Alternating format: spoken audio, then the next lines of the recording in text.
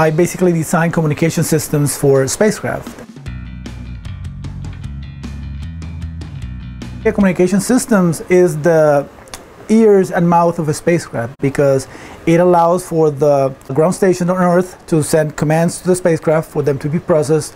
And also, while the spacecraft is orbiting Earth, it's collecting all this good data that needs to be sent back uh, to Earth. One of Adan's projects is the communication system for the Magnetospheric Multiscale Mission, or MMS. NASA wants to learn more about the Earth's protective magnetic layer, also called the magnetosphere, and the Sun.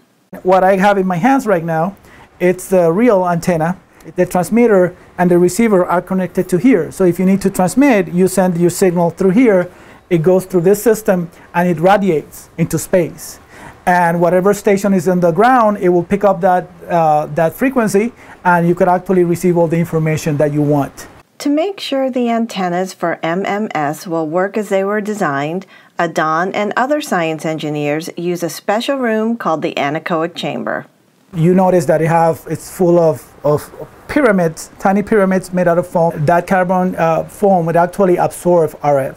Now, you know that if you're transmitting through a regular room, a lot of that energy bounce back and forth. You don't want all the energy that comes uh, or bounce from other sources. So that's what the pyramids are there for. Anything that hits those pyramids, it actually gets absorbed and not reflected.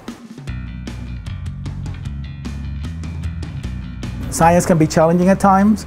Math can be challenging at times. Uh, if you see something and you're curious about it, just ask the question. No, it's not going to hurt anybody. It'll make you a better person just because you know something that you didn't know yesterday.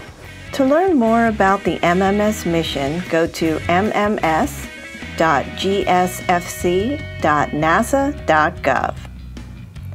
Discover more about space at NASA for Students at www.nasa.gov slash audience slash for students.